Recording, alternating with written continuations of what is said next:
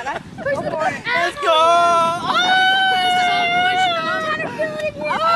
oh that's the top of a watermelon.